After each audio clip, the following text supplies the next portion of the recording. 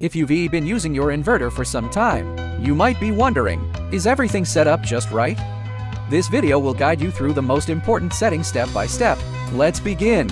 Alright first things first, let's see how to access the settings menu.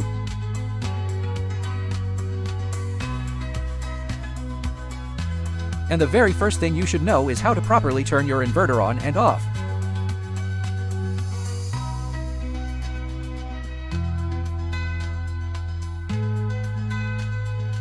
Now that you know how to power your inverter on and off, let's take a look at one of the most important settings choosing the right working mode for your system.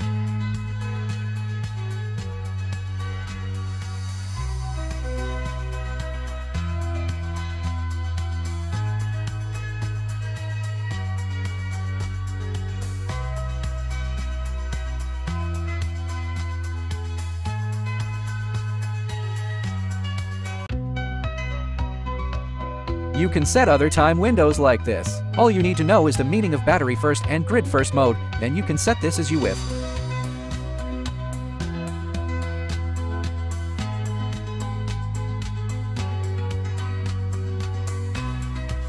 Now, let's look at a critically important step, activating the smart meter.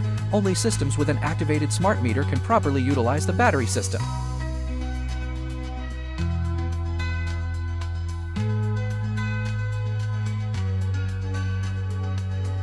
A key application of the meter is its export limit function. Next, we'll activate this feature typically required when your PV system isn't yet registered with the utility provider.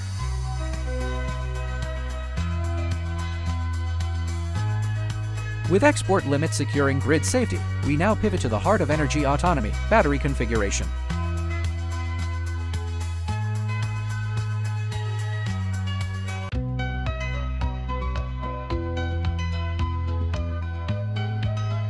The next two settings only apply if you have a backup box installed. Always set the off-grid SOC lower than the on-grid SOC.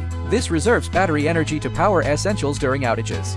Final setting today, AC charging enable. Only active with battery first mode on. It forces grid power to charge your battery, protecting battery health when it struggles to stay fully charged long term.